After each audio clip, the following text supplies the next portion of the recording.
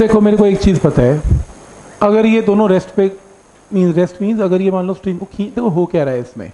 दोनों मिलके स्ट्रिंग को खींचेंगे। ठीक? जब दोनों मिलके स्ट्रिंग को खींचेंगे, कुछ तो ये खींच रहा है और कुछ ये अपना भी फोर्स लगा रहा है। तो जब ये दोनों मिलके खींचेंगे तो ऑब्वियसली सबसे ज़्यादा ज़ोर यहाँ पड़ेगा तो प्लैंक कहाँ उठेगा? ऊपर। जैसे ही ऊपर जाएगा, ये स्ट्रिंग थोड़ी छोटी होगी ये वाला, ये जो पुली है, वो ऊपर जाएगी कि नीचे? नीचे। नीचे। खींच रहा है उसे। तो अगर खींच रहा है तो क्योंकि ये वाला भी तो ये भी तो ऐसे नीचे जाएगा ना, जब ये प्लैंक ऊपर उठेगा तो ये स्ट्रिंग भी तो ऊपर जा रही है बाय डिस्टेंस ऑफ़ एक्स तो पूरी की पूरी पुली नीचे आएगी। देखो, तभी तो रस्सी लूज होगी ना। तो यहाँ से जब ये नीचे आएगा, और ये क्योंकि इसके साथ अटैच्ड है तो ये रस्सी यहाँ से लूज होती हुई नीचे चली जाएगी। और मान लो, पहले ये यहीं पर थी, पूरा इसका एंड इसके हाथ में था। लूज होनी स्टार्ट हो गई तो मान लो कितने डिस्टेंस नीचे आ गई वाई नीचे आ गई। ऑब्वियसली कहीं से छोटी पड़ेगी ना। अगर ये प्लैंक के ऊपर उठता रहेगा तो ये रस्सी कहीं ना कहीं छोटी होनी स्टार्ट हो जाएगी।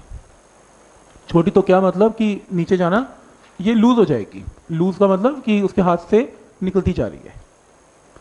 ठीक है, यहाँ तक। ये वाला, ये तो मैं ये शो कर रहा हूँ कि अगर ये एक्स ऊपर जाएगा तो सिस्टम एक्स नीचे भी आएगा ना?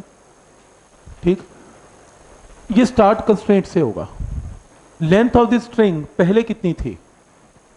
पहले जब ये कुछ ना एक्स था, ना एक्स था, ना वाई था, कुछ भी नहीं था तो लेटर सपोज़ ये लेंथ ऑफ़ दिस स्ट्रिंग की वैल्यू इसके अंदर आप ऐसे कर सकते हो। यहाँ पर ना मैंने ये L2 यहाँ तक नहीं लो, आप L2 को यहाँ तक लो। यहाँ तक ले लो। तभी बात बनेगी ना। क्योंकि जो स्ट्रिंग छोटी हो रही है, वो ये नहीं हो रही। ये तो उतनी की उतनी है ना, ये तो ऊपर नीचे हो रही है ज़्यादा से ज़्यादा। ये लूज होती हुई नीचे जा रही है। तो हम एक काम करते हैं, ये L2 है और ये वाला L1 है। तो total initially initial total length of string will be equal to L1 plus L2 total length obviously उनके हाथ में कितनी थी? L1 one plus L to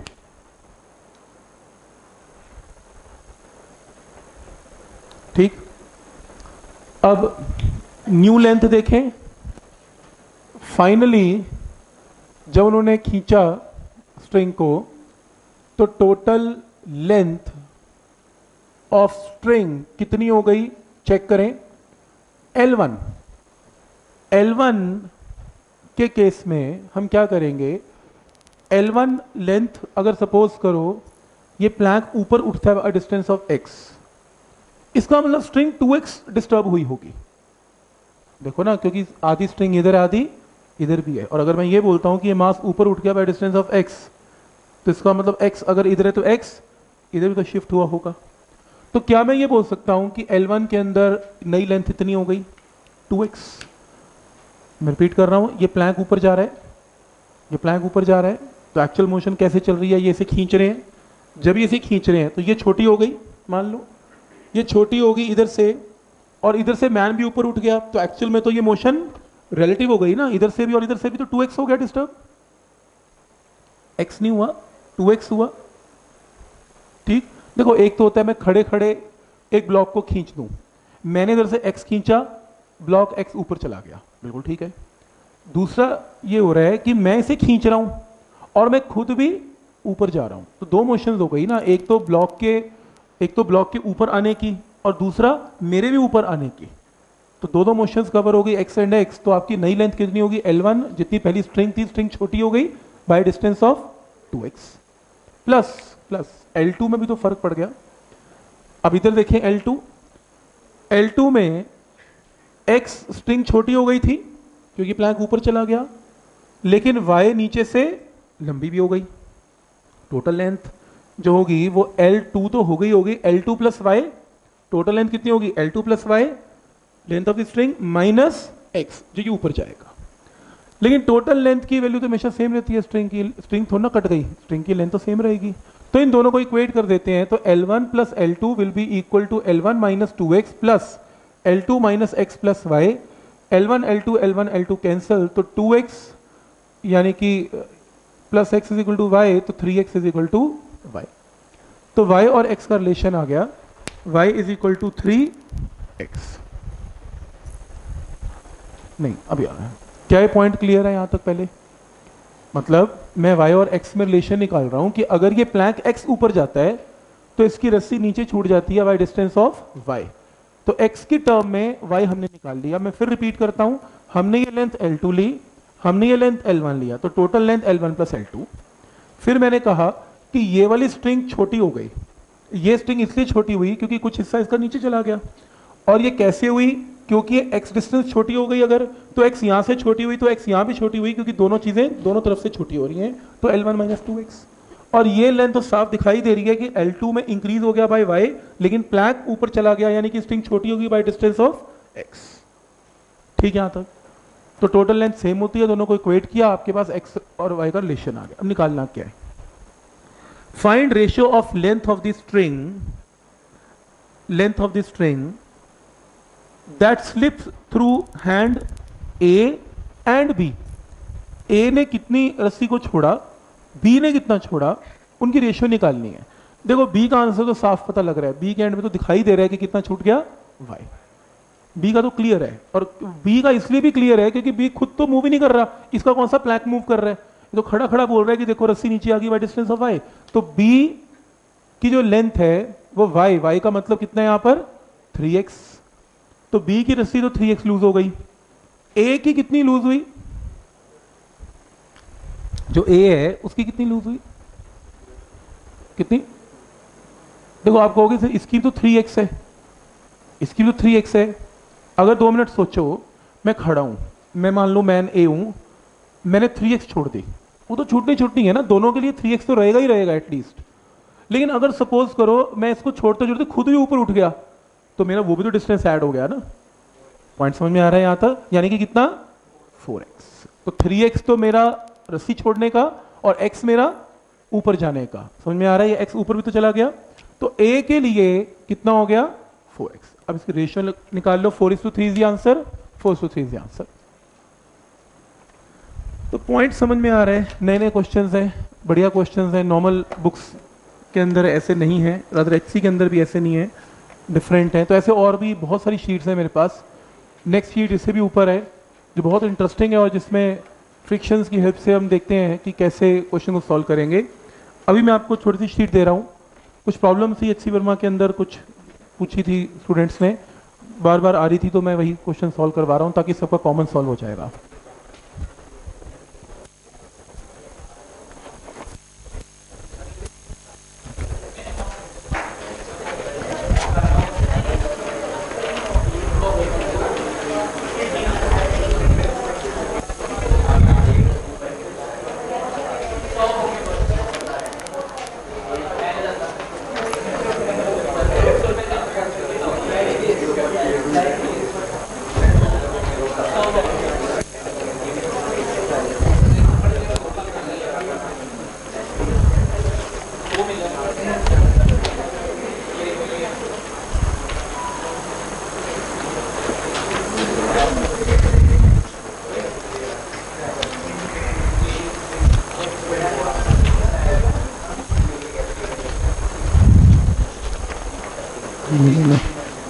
मिल गई शीट मिल गई आपको? एक एक अभी ला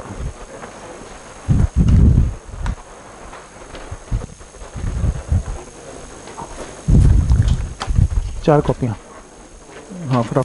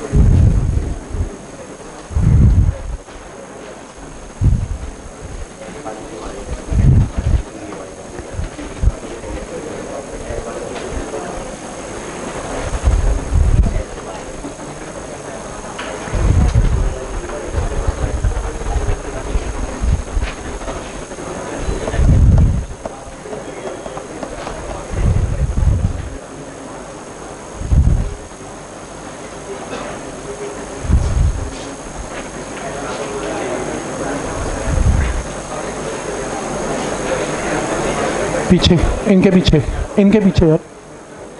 शीट ले लो जिसने लेनी है यार। एक मेरे को दे दो। ओके देखो जरा।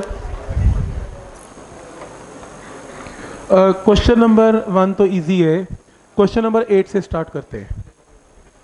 क्वेश्चन नंबर एट काफ़ी लोगों का निकला नहीं था।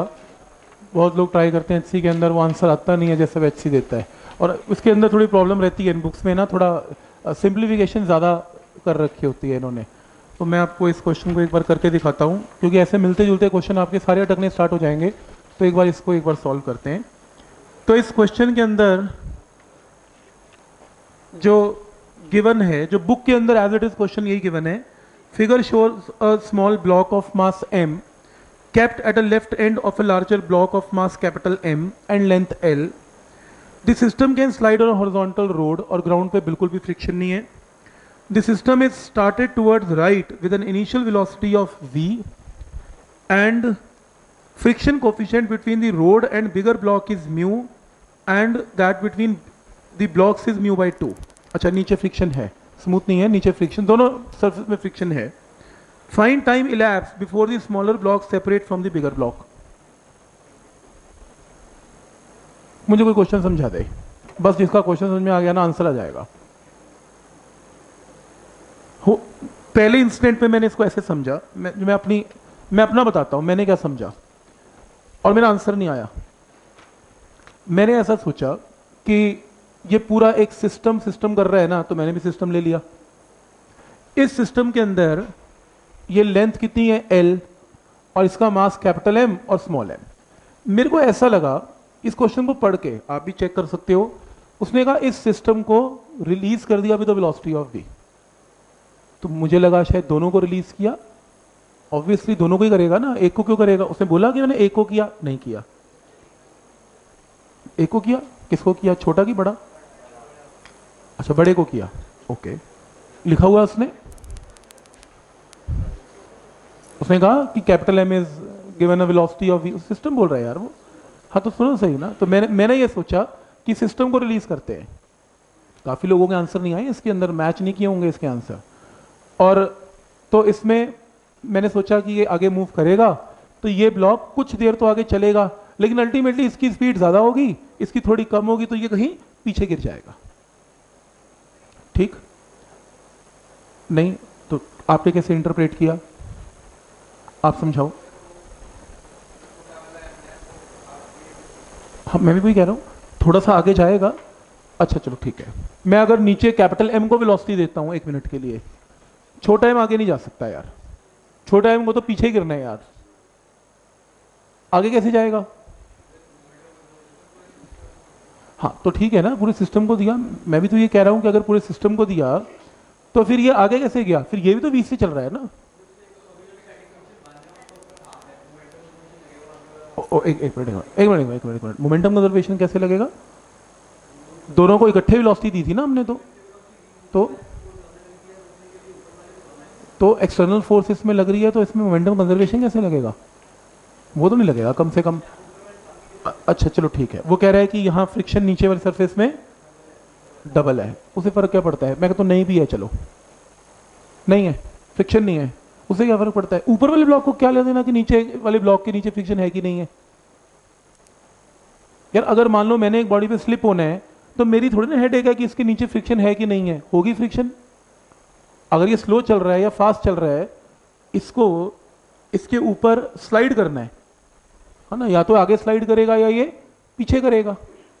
अब ये, इससे तेज कैसे मूव करेगा? मुझे ये पहले बताओ कि स्मॉल एम कैपिटल एम को एक्सीड कैसे कर जाएगा? मेरे को तो ये नहीं समझ में आई। उसका मास कम है। अच्छा उसका मास कम है तो वो आगे मूव कर जाएगा। कैपिटल एम हाँ लगाएगा। अच्छा चलो ठीक है, मैं मान लिया। अब आगे फिर क्या? ठीक है, चलो आपकी स्टोरी मान ली। चलो, मैंने मान लिया, आपने कहा कि स्मॉल एम आगे निकलेगा। और मुझे नहीं पता आपने कैसे एक्सप्लेन किया। आपने कहा कि शायद फ्रिक्शन कम है और नीचे में फ्रिक्शन ज़्यादा थी वेलोसिटी तो दोनों की दी थी, लेकिन जब वेलोसिटी मैंने दोनों को दी तो स्मॉल एम तो आगे निकल गया, क्योंकि फ्रिक्शन कम थी और कैपिटल एम पता नहीं पीछे रह गया, पता नहीं रुक गया या पता नहीं चलता रहा। हमें कोई फ़र्क नहीं पड़ता, क्योंकि रिलेटिव मोशन में स्मॉल एम कैपिटल एम की पूरी की पूरी लेंथ कवर कर रहे हैं एल हम तो रिलेटिव मोशन से सॉल्व करेंगे ना। हम तो इसमें रिलेटिव मोशन सॉल्व करेंगे। तो रिलेटिव मोशन में हम इसमें क्या करेंगे? कि हम हम ये मान के चलेंगे कि इसके लिए ये रेस्ट पे ही है ना रेस्ट पे ले, लेके चलेंगे। चले ना चले हमें क्या? हमें तो ये पता है कि दोनों ने मिलकर टोटल डिस्टेंस कितना कवर करना है? एल तो आगे गिरेगा। सही है? ठीक है, एक लॉजिक बिल्कुल सही है। तो इसमें मैं अगर इस क्वेश्चन को एक थोड़ा सा और मॉडिफाई करूँ, उसके बाद हम इस क्वेश्चन के स्टेटमेंट पे आएँगे। मैं अपना क्वेश्चन चेंज कर रहा हूँ। इस स्टेटमेंट को दो मिनट के लिए चेंज कर रहा हूँ। और स्टेटमेंट को चेंज करके, अब इस क्वेश्चन को सॉल्व करके देखो और फिर स्टेटमेंट को दोबारा रिव्यू करेंगे। ठीक? मेरा क्वेश्चन है कि capital M capital M rest पे है? कैपिटल एम रेस्ट पे है? गिवन कर लो। हम बाद में एवेल्युएट करेंगे। वैसे होना यही वाला है क्योंकि इसकी फ्रिक्शन बहुत ज़्यादा होने वाली है। चलो इन एनी केस चलो, मैंने खुद दे दिया कैपिटल एम रेस्ट पे है। और मैंने सिस्टम को वी नॉट वेलोसिटी दिया और जब मैंने वी नॉट वेलोसिटी दी तो ऑब्वियसली कैपिटल एम अगर रेस्ट पे मेरे नए क्वेश्चन के अंदर तो इसने मूव करना है with some velocity of v not तो ये स्लाइड करता हुआ इसके ऊपर जाएगा तो इसमें एक्सलेशन इसमें रिटार्डेशन होगी।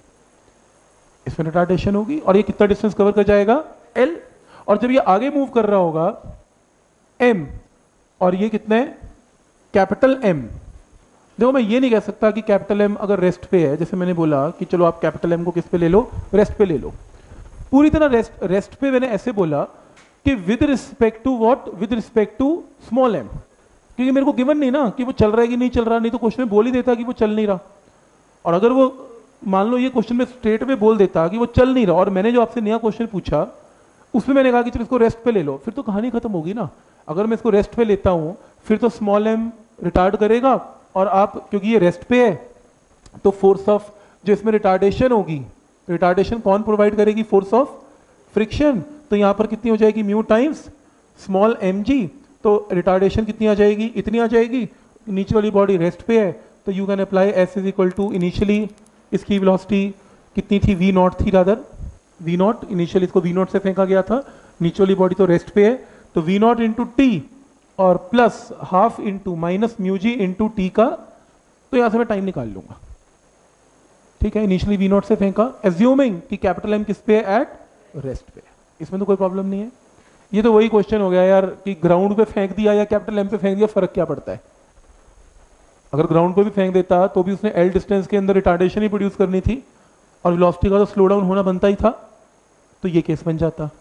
पर इस केस में वो मोशन में है। मान लो कैपिटल एम मोशन में अब सेकेंड केस लेके जैसे इस क्वेश्चन में मान मैं मान के चल रहा हूँ। और मैंने इनिशियली आप, जैसे आपने कहा कि दोनों को सिस्टम को वेलोसिटी दी वी नॉट वी नॉट और अगर मैंने सिस्टम को velocity v not v not दी तो इनिशियल वेलोसिटी रिलेटेड क्या हो जाएगी? ज़ीरो इकट्ठी क्वेश्चन में इनिशियल वेलोसिटी ज़ीरो और अगर दोनों चल रहे हैं, अब क्योंकि मैं अपने क्वेश्चन पे वापस आ रहा हूँ, क्योंकि दोनों चल रहे हैं तो उस केस में कैपिटल एम को कौन चलाएगा? ऊपर वाली फ्रिक्शन क्योंकि स्मॉल एम को तो रिटार्डेशन मिल गई ना स्लाइडिंग की वजह से। तो स्मॉल एम तो स्लाइडिंग की वजह से इसलिए आगे जाएगा, जैसे आपने खुद ही आंसर दे दिया क्योंकि इसमें फोर्स ऑफ़ फ्रिक्शन कम है। वन बाई टू है ना म्यू और नीचे फोर्स ऑफ़ फ्रिक्शन ज़्यादा है। ठीक है यहाँ तक तो स्मॉल एम तो आगे निकल ही जाएगा। और स्मॉल एम और ये नहीं कि कैपिटल एम चलेगा नहीं। चल रहे चल रहे लेकिन मिलके उन्होंने कितना डिस्प्लेसमेंट कवर किया? एल तो ऐसे केस में कैपिटल एम को अपोज करेगा ऊपर वाला फ्रिक्शन कितना? Mu one into small m g. और इसको रादर आई एम सॉरी इसमें ये चलाएगा इसे, उसको तो अपोज करेगा स्मॉल एम को फोर्स ऑफ़ फ्रिक्शन अपोज कर रहा है एफ़ वन इसमें एफ़ वन इसको मूव करवाएगा, लेकिन नीचे वाला एफ़ टू इसको क्या करेगा? अपोज करेगा। तो एफ़ वन की वैल्यू कितनी है? Mu one into small m into g और एफ़ टू की वैल्यू कितनी है? Mu two into capital M plus small m into g और मान लो ये मूव करता है with an acceleration of a two और इस केस में इसकी रिटार्डेशन या एक्सलेशन कितनी थी? ए वन ठीक है यहाँ तक? कैपिटल एम मूव कर रहे हैं, लेकिन अलग एक्सलेशन के साथ मूव कर रहा है तो इक्वेशन क्या बनेगी? Mu one m g minus mu two m plus m into g must be equal to इसका मास कितना है? कैपिटल एम इंटू एक्सलेशन कितनी है? ए टू तो यहाँ से किसकी वैल्यू आ जाएगी? ए टू की वैल्यू आ जाएगी। Mu one m g mu two m plus m into g divided by capital M तो ए वन ए टू की वैल्यू आ गई इसमें। ठीक?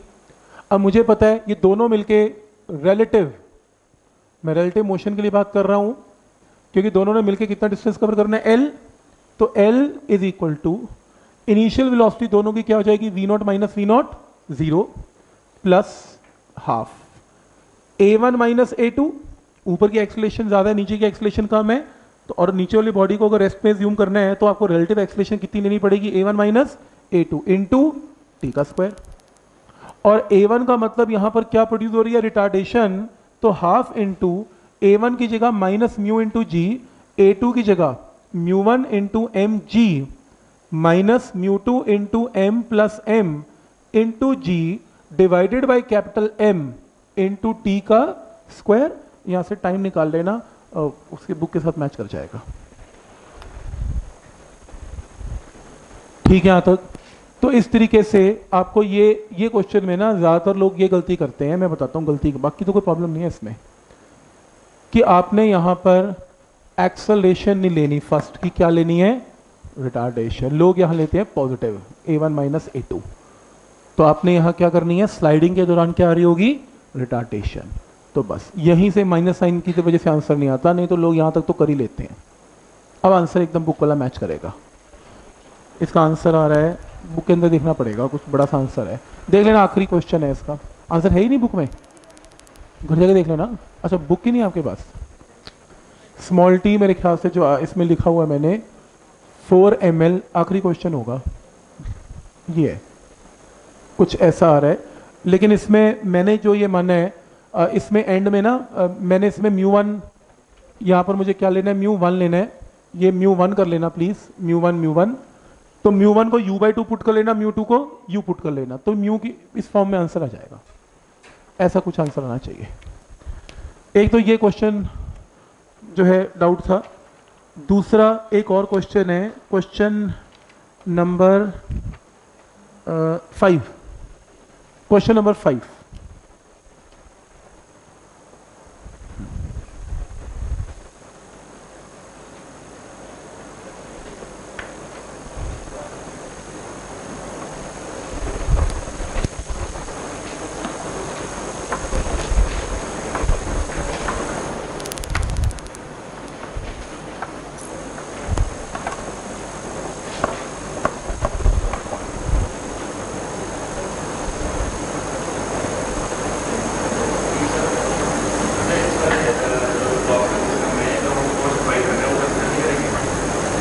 v not से छोड़ दिया।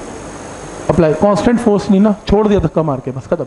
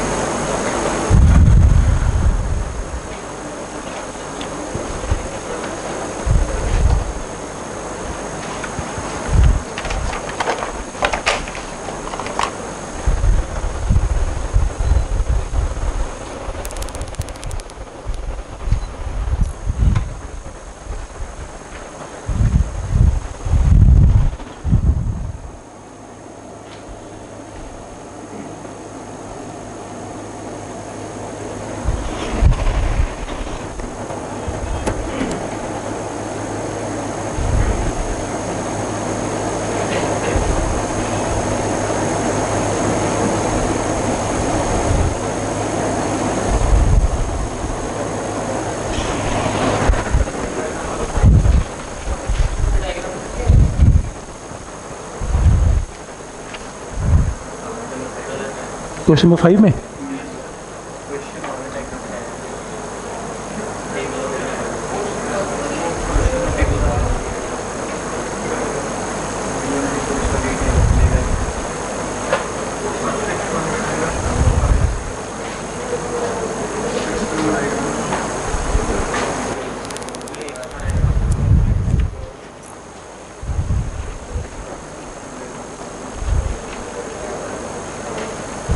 नहीं, इसके अंदर क्या प्रॉब्लम है? क्वेश्चन नंबर फाइव में क्वेश्चन नंबर फाइव में, अब log of mass m slips होना।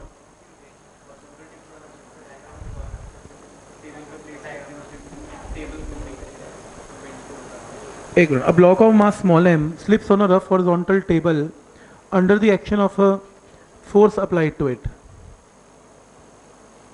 the coefficient of friction between the block and table is mu. The table does not move on the floor.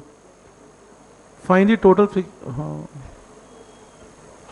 ठीक है, ये diagram को देखते हुए आपको एक्सलेशन निकालनी है चलो मैं नया क्वेश्चन पूछता हूँ इसी को थोड़ा इस तरीके से पूछता हूँ मुझे पता नहीं लगा इसमें चलो कोई बात नहीं फिगर मुझे यही सॉल्व करवानी है